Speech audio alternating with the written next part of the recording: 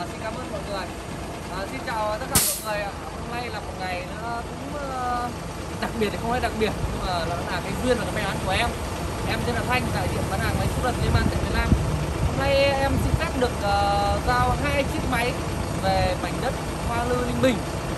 Một chiếc máy uh, bao gồm uh, càng nâng để lưng vân bóc, và một chiếc máy là để về làm cái lăm gỗ. uh, thay mặt uh, công ty cổ phần đầu tư thiết bị 595 em Thanh Ờ, cảm ơn đến anh Thịnh và anh Long đã ủng hộ em và dành sự tin tưởng hoàn toàn tới em. Em không biết nói gì về chiếc máy ờ, hai chiếc máy xúc lật này em bán cả. Nhưng mà em trước hết là gì? Em xin cảm ơn tất cả các anh chị này quý hàng và tên toàn quốc. Cảm ơn anh em đồng nghiệp. Cảm ơn đại đại quân. Và cảm ơn anh em kỹ thuật đã ủng hộ, quan tâm, chăm sóc, chú đáo và lúc nào cũng làm việc hết mình, dù dịch đang ờ, ngày càng căng thẳng.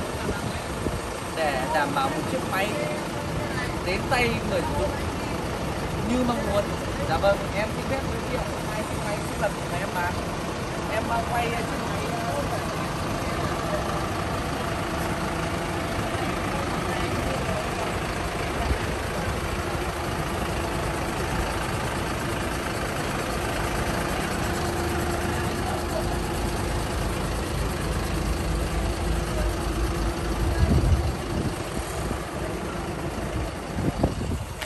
Dạ vâng ạ, đây là hai chiếc máy ờ, mà em hôm nay được ờ, chính tay bàn giao cho khách hàng ở mảnh đất Hoa Lư Ninh Bình.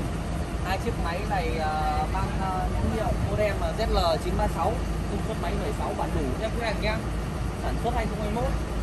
Bên em còn rất nhiều những chiếc máy xúc lật khác nữa, vẫn còn đang chờ những khách hàng tiếp theo. Quý khách hàng mà có nhu cầu đầu tư thì có thể liên hệ lên số điện thoại trực tiếp của em hoặc là của kinh doanh ở khu vực của tỉnh mình. Xin cảm ơn mọi người và đặc biệt nữa là cảm ơn vận tải hải quân đã đồng hành với ờ, công ty ờ, suốt thời gian qua. Hiện nay đã được là 6 năm rưỡi, chuẩn bị sang cái năm thứ bảy. Xin cảm ơn em và cảm ơn tất cả đội ngũ lái xe hải quân đã vận chuyển những chiếc máy đến tận nơi khách hàng, giao khách hàng một cách an toàn, nhanh chóng, chính xác nhất. Xin cảm ơn.